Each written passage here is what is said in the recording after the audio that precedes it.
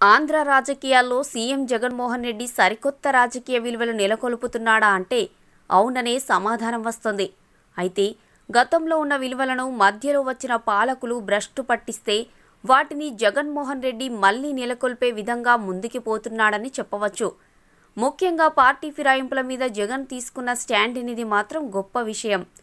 పక్క పార్టీలో గెలిచి తన పార్టీలోకి రావాలంటే ఆ పదవికి రాజీనామా చేసి రావాలని చెప్పడమే కాకుండా దాని మీదే నిలబడుతున్నాడు జగన్. ఇక టీడీపీ తరపున గెలిచిన ఎమ్మెల్యేలు వైసీపీలోకి రావటానికి సిద్ధంగా ఉన్నారని చాలా రోజుల నుండి వింటూనే ఉన్నాం. తాజాగా వస్తున్న సమాచారం ప్రకారం టీడీపీ నుండి ముగ్గురు ఎమ్మెల్యేలు టీడీపీకి రాజీనామా చేసి మరీ వైసీపీలోకి వస్తామని చెప్పినట్లు తెలుస్తుంది. దానికి జగన్మోహన్ రెడ్డి కూడా గ్రీన్ సిగ్నల్ ఇచ్చినట్లు తెలుస్తుంది. మీరు రాజీనామా చేసి వస్తే మేము మా పార్టీ తరపున గెలిపించుకుంటామని హామీ ఇచ్చినట్లు కూడా తెలుస్తుంది. అలా రాజీనామా చేసి వెళ్ళేది ఎవరంటూ టీడీపీలోనే పెద్ద చర్చ నడుస్తున్నట్లు తెలుస్తుంది.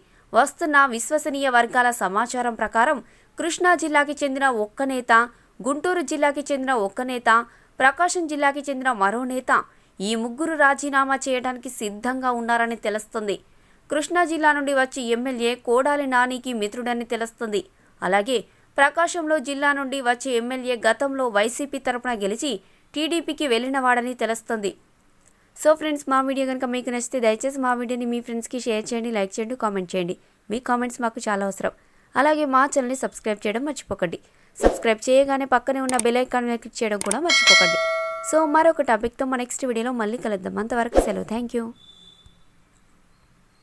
Please subscribe to Public Talk TV. Please like, share, and subscribe Public Talk TV. Please subscribe Public Talk TV. Please subscribe Public Talk TV.